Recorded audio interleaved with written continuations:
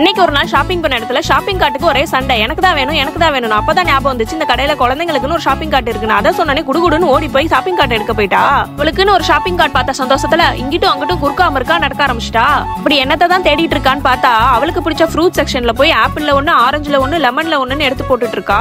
ஏமா இதெல்லாம் எடுத்தியே வீட்டுக்கு சமைக்க தக்காளி வேணும் வாமான்னதுக்கு அப்புறமா தக்காளி எடுத்து போட்டா. தக்காளியை போட்டுட்டு இருந்தவ திடீர்னு ஆளை காணோம். எங்கன்னு பார்த்தா ஸ்நாக்ஸ் செக்ஷன் பக்கம் போயிட்டா. நல்ல வேளை இந்த கடையில டாய் செக்ஷன் இல்ல இல்லாட்டி என் பர்ஸ் காலி.